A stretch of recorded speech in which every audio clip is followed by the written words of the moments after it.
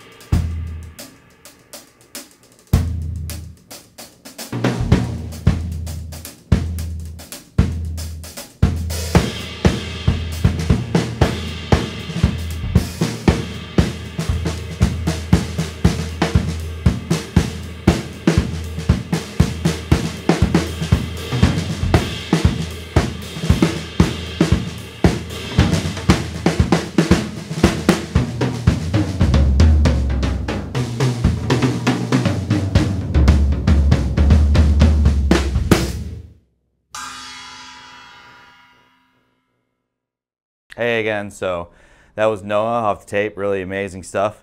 And this is the machine. And so I'm just gonna quickly go through uh, what what we're all doing here. This is like the machine room slash photograph room. You can see this beautiful Craviotto kit behind me. And uh, yeah, so this is my awesome analog setup. I got a four track, a one track. It's actually a one track, and I also have a 16 track here. And uh, yeah, let's hit play. So you can hear him playing and everything's coming through the board. 16 tracks. This is 16 microphones on a drum set, which is a lot of microphones. We did this pretty quickly, but I think it came out really nice. Rock tuning. Um, this is the patch bay. I've got IOs that are all going into this patch bay. So just have a bunch of these drums going to compressors and some gates. And I almost forgot to turn this one on. And this one. I, am even using a sonic maximizer for the toms. Just the toms are going through it. And then I'm using this warm body. I really love this thing. Not a huge amount of compression actually. A lot of it's four to one. So yeah, you can see here, you're listening to like the live bounce coming through. So I'm just gonna do all the different mics. So I've got like parallel compression on these two. That's like the crotch mic, the one that's right in between the AKG. And then this is snare top and bottom.